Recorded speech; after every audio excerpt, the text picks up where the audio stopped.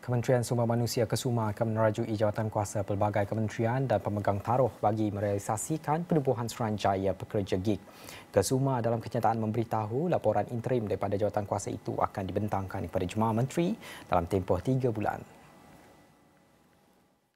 Jawatan kuasa itu akan meneliti terma rujukan penubuhan Suruhanjaya yang melibatkan aspek fungsi, perundangan, keuangan dan keanggotaan.